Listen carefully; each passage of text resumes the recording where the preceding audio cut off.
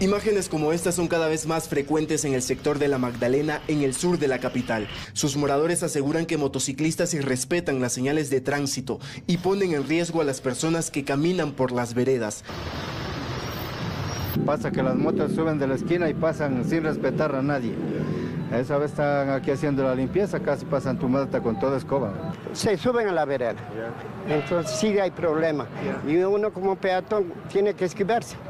No hay un, un respeto a las señales de tránsito acá. No, no, no. Eso sí, eso todo el mundo le debe decir lo mismo. Los vecinos agregan que motociclistas se adueñaron del espacio público y además que el problema se agrava en el horario de pico y placa. Incluso denuncian atropellos a los transeúntes en la avenida Mariscal Sucre. Las motos salen de, de la nada, se suben a las veredas, se estacionan en las veredas y no se puede pasar. Pero de lo que sé, algunos casos sí ha habido atropellamientos. La señora de Alata el otro día casi le atropellaron. Recién hace unos 15 días ahí atropellaron a un señor de la moto, pero dice que la moto tuvo la culpa. Por su parte, la Agencia Metropolitana de Tránsito señala que reforzará los operativos de control en el sector con la finalidad de que los conductores respeten estos espacios y cumplan con las leyes de tránsito.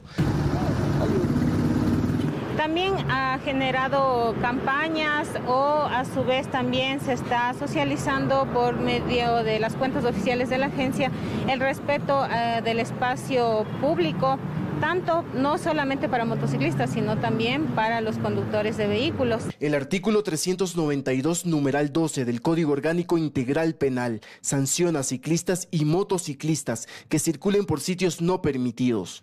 Esta sanción equivale al 5% de un salario básico unificado en la que pues el agente de tránsito procede a solicitar los documentos al motociclista, elabora la citación y este deberá cancelar o impugnar la misma. Sin embargo, mientras realizábamos esta cobertura, presenciamos cómo varios motociclistas circulaban en contravía por la calle Gatazo en presencia de agentes del orden.